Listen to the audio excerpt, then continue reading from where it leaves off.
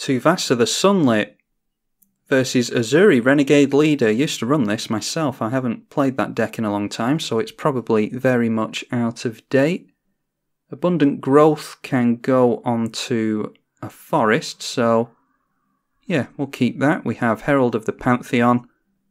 Then we can go into Tuvasa, and hopefully at some point we'll actually get into lands. Yeah, Abundant Growth will allow the forest to tap for a mana of any colour. And when it enters the battlefield, we draw a card. Okay, Sigil of the Empty Throne is good if we get into other enchantments. That actually curves us out quite nicely because Herald of the Pantheon makes enchantments cost one less, so this will cost four. So we've got turn two, three, and four sorted out now. Okay, so we just go in for an island. Herald of the Pantheon. And we'll leave it like that. A turn 1 mana dork from the elf player, as you would expect. Don't think we'll be seeing an Ezuri on turn 2. It's usually a lord that they'll go in for after this. Ezuri Renegade Leader has. Is that overrun? 5 mana for elf creatures get plus 3 plus 3 and trample until the end of the turn. It can also regenerate other elves for a single green. It's 3 mana for a 2 2. Uh, an Oran Reef, the Vasswood, that can put plus counters on creatures that just entered. They went in for a Lightning Greaves to protect their powerful lords that I imagine they're going to get into. Let's go. Yeah, we have to get a white source down. So we'll shock that into play. Down comes Tuvasa. That is a 3 mana Bant commander. A 1 1 that gets a plus 1 plus 1 buff per enchantment we control. And whenever we cast our first enchantment spell each turn, we draw a card. We'll go in for 2 on our opponent. And I think we put a stop on the upkeep as well because we might want to get something with that Enlightened Tutor. Could get rid of the Lightning Greaves. Yeah, I don't think getting rid of Lightning Greaves is terrible. So an Oblivion Ring will be good. And yeah, definitely with an Elvish Archdruid in play, that's exactly the type of Lord we're worried about. Gives other elves plus one and taps for green per elf our opponent controls. And something tells me they're going to be controlling a lot of elves before long. They can untap their uh, Elvish Archdruid with that, the Thousand Year Elixir. So the sooner we can get Lightning Greaves off that thing, the better in for an O-ring here. And we'll just go for the tropical island. The abundant growth allows us to tap that down for white luckily. O-ring is only going to cost us 2 mana. We'll gain a life and draw a card thanks to Tuvasa.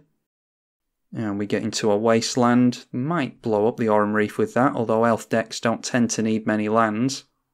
They're going to have a turn to take advantage of the Thousand Year Elixir that can untap the uh, the Elvish Archdruid. And they can generate even more mana off of that. I think we just have to pile in damage as best we can. Only three cards left in our opponent's hand, which is a saving grace, but they may well be cheap elves that they can buff up with their commander. Ezuri Renegade Leader decks can just flood the board with creatures out of nowhere and then buff them all up by an ungodly amount. Oh, Priest of Titania. These are either God draws or it was a God hand from our opponent. I think we want to get Sigil of the Empty Throne out as quickly as we can. They can tap down the Priest for mana because the Thousand Year Elixir allows you to activate abilities as though they had haste.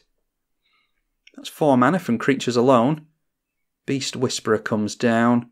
Definitely another one to look out for they might be able to just draw a bunch of cards here by chaining together a bunch of elf creatures. If the deck is pretty much just lands and elf creatures, then that might be the way they've built it anyway. And out comes Ezuri, they'll draw a card from that. And they have the mana to untap one of their lords. And the more elves they get out, the more those things tap for mana. Untapping the Elvish Archdruid. And they've got a land drop to make. Now it's a plus counter on the creatures that entered this turn.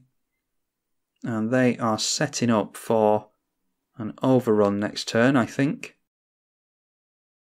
Okay, Smothering Tithe isn't going to do too much to help us. Well, I don't really see what we're going to do here. Uh, they get trample off of this, so getting another body into play isn't going to help. The Enlightened Tutor is too slow. That's the problem with elves, they're really, really fast. Let's just go for the Sigil of the Empty Throne. A Sun Titan doesn't help us much either. We haven't drawn into many enchantments this game, actually, which isn't very useful to us. Let's just pass the turn and give our opponent every opportunity to swing in at us quickly. Because I think they have the game won here. Never know, they might need another turn to set things up, ready for the alpha swing next turn, but I think they can generate enough mana to buff everything and hit us for lethal. That's 5 mana from the Elvish Archdruid. So if they untap that with the elixir, then they can go up to 9 mana. 10 mana, including the Priest of Titania. Both lords tap down equals 10 mana. Oh, and a tooth and nail. Uh, yeah, that's entwined, so let's see if they just go for a one card combo here.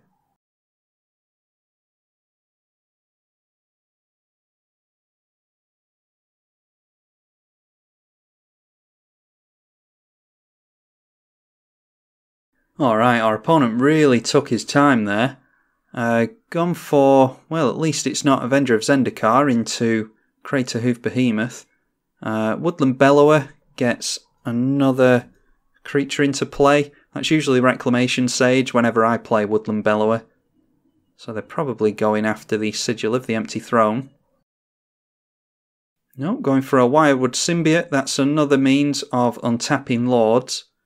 So yeah, it looks like it's just a setup this turn, and then hopefully they'll put their foot to the floor and start actually swinging in at us. Using the one floating mana to untap the Elvish Archdruid. That will now tap for 7 mana. Okay, and they're going to attack with everything to encourage us to block. Uh, we'll lose our creatures whether they activate Ezuri or not, so I'm not even going to bother blocking here. We know exactly what they're doing. They're going to buff everything in response. So they could use the Wirewood Symbiote to return the Wirewood Channeler to the hand and then untap something and tap down for mana and buff everything again, but they're just deciding to tap down the Wirewood Channeler itself for mana.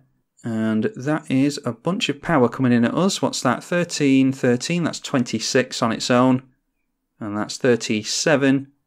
So there we go, Elf Ball, that's exactly how it's supposed to work.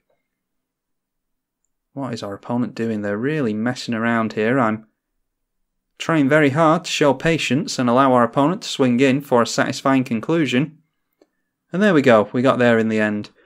That is exactly how Ezuri Renegade Leader wants to be played. Not, however, how we want our Tuvasa to play. Didn't really get into many decent enchantments there. But we'll just play another game and see if we can get something going. Tuvasa the Sunlit versus Kuon Ogre Ascendant. Kuan is how I assume you pronounce that. Uh, Mirri's Guile, a couple of lands. We can start with Leyline of Anticipation, so I think that is a good keep. We're on the draw as well. And we're also against a mono black player who will no doubt struggle against enchantments. They've kept a 5 card opening hand, so hopefully they don't struggle too much against us. At the beginning of the end step, if three or more creatures died this turn, you flip it over. And that flips over into at the beginning of each player's upkeep, that player sacrifices a creature. It becomes an enchantment, enters as a creature for three black mana. Well, there's no need for us to get down the Mirri's Guile on our turn, so we'll just wait until our opponent's end step. Won't be of any relevance, I wouldn't have thought, against a black player. Tuvasa the Sunlit is 3 mana in Bant for a 1 1. It gets a plus 1 buff per enchantment we control, and whenever we cast our first enchantment spell each turn, we draw a card. At the end of our opponent's turn, we'll get that Mirri's Guile down. Leyline of Anticipation lets us cast spells at flash speed, by the way. And we'll look at the top three cards of our library with Mirri's Guile and reorganise them.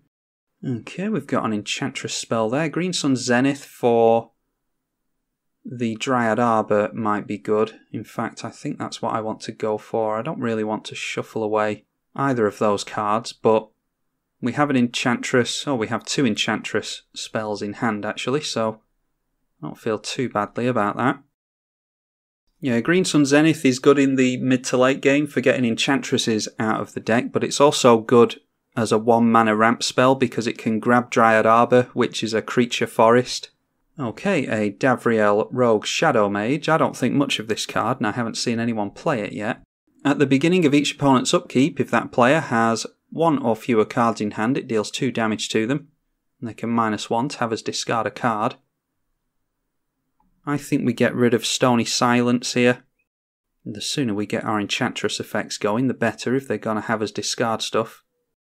Let's go for the Green Sun Zenith for 0 and we'll get the summoning sickness off of that Dryad Arbor. Feels really bad to draw into Dryad Arbor in the late game when you're just one mana away from doing whatever it is that you need to do. So the sooner we can get that out of the way, the better. And then we'll just go for a blue and white source with the Flooded Strand. Okay, uh, keeping a dig through time on top is a good idea. We'll play an island and we know that we've got a land for next turn as well, so that's good. Uh, yeah, we can swing in with Dryad Arbor here. We'll swing in at our opponent's Planeswalker, so they can only have us discard one more card. Now it is pretty useful being able to play at instant speed here, because if our opponent goes for some kind of discard effect outside of the Planeswalker, then we can play something from our hand uh, yep, three or more creatures are not going to die this turn. So we don't really need to worry about that just yet. I say we go for our commander here. I don't think they are... Yeah, they're not ticking down their planeswalker, so they just want to leave that as an enchantment in play that will deal damage to us when we have uh, one or fewer cards in hand. Let's get down our Tuvasa and we can actually have Tuvasa swing in as a 4-4 this turn, which means that either our opponent loses their commander or they lose a planeswalker. Uh, we'll just go for the land this turn, I think. Yeah, we can go Greater Auramancy on top, and then, yeah, so we play a land. Yeah, and then we go for Enchantress's Presence, and that will draw us into the Greater Auramancy.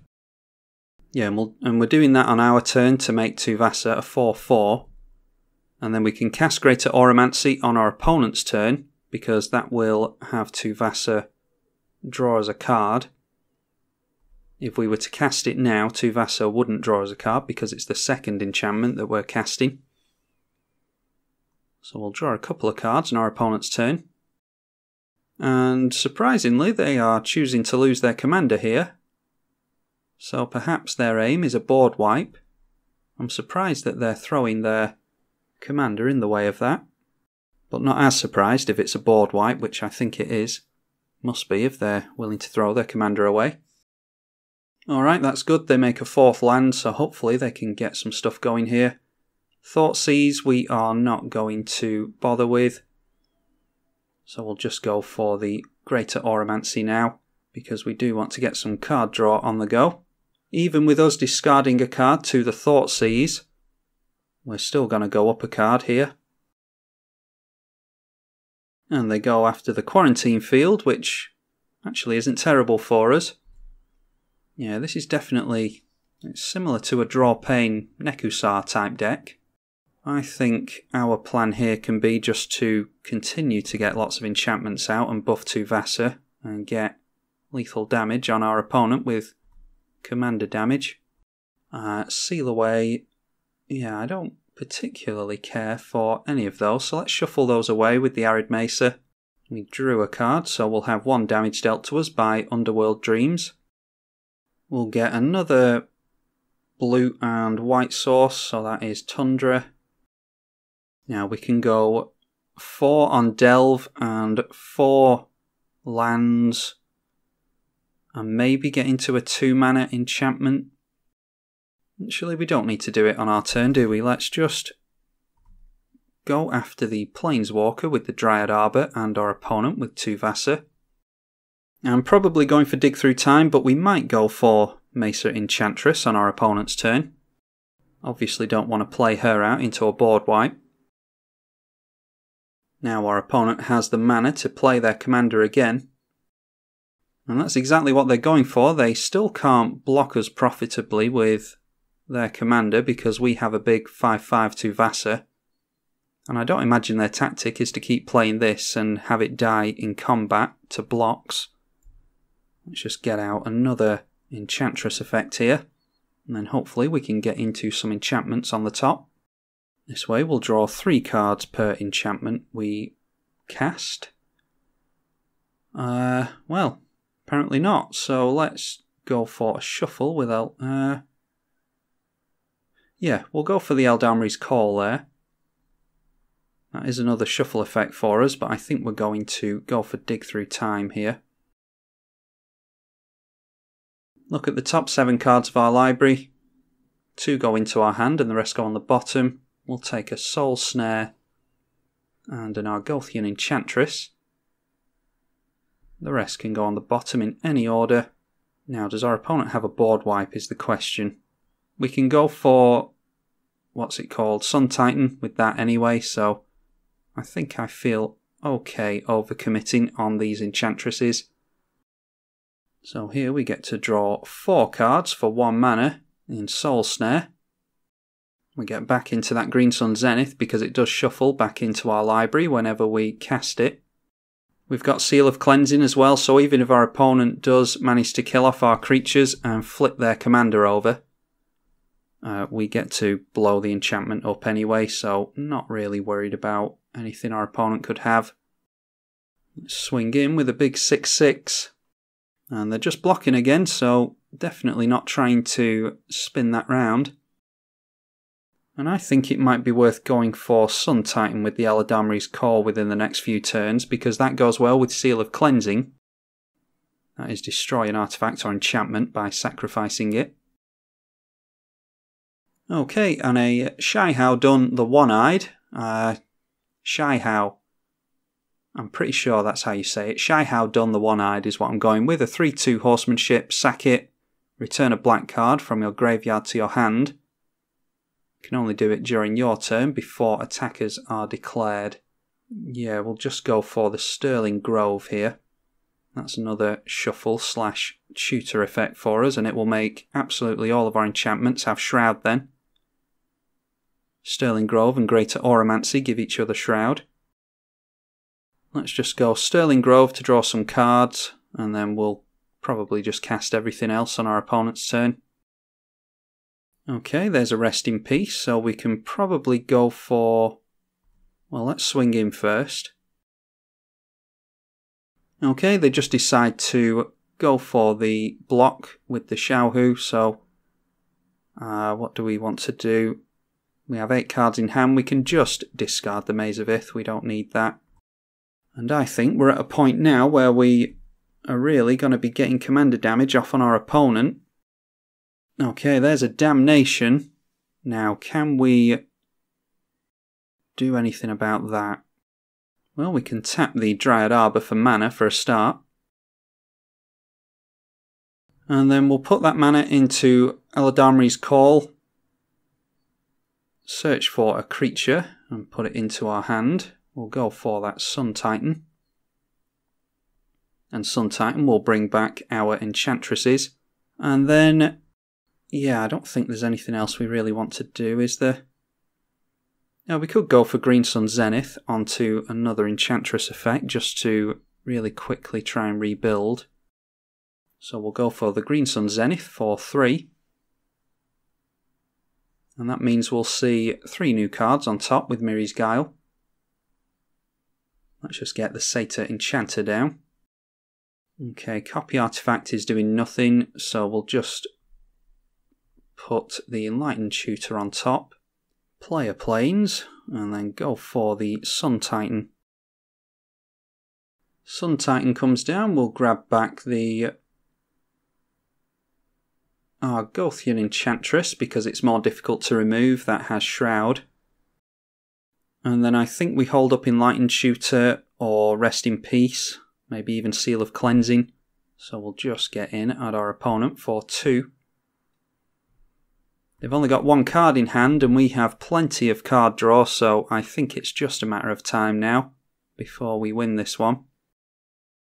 Might actually be worth putting Thassa on top of the deck with Enlightened Tutor and then we can play Tuvasa next turn and go for unblockable damage with Thassa.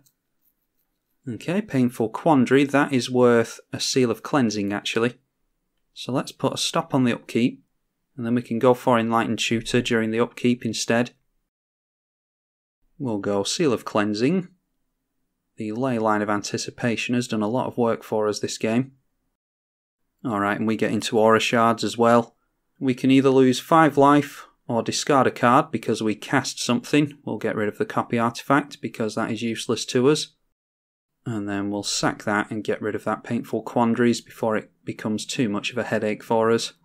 Okay, Enchanted Evening along with the Thassa is really good. So yeah, we're going to do some setting up this turn. We don't care about the other two cards. Let's grab Enchanted Evening. We'll go for that, and then I think we can afford both of them. We'll go for Tuvasa for 5 mana. Oh, and unfortunately not. We're actually just shy. Uh, can we get a land out of here?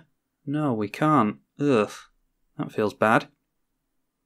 Alright, well, we can go for 5 mana into Enchanted Evening, and then one, two, three on Thassa, and then 2 mana into Unblockable Thassa next turn. So, yeah, we can still do it.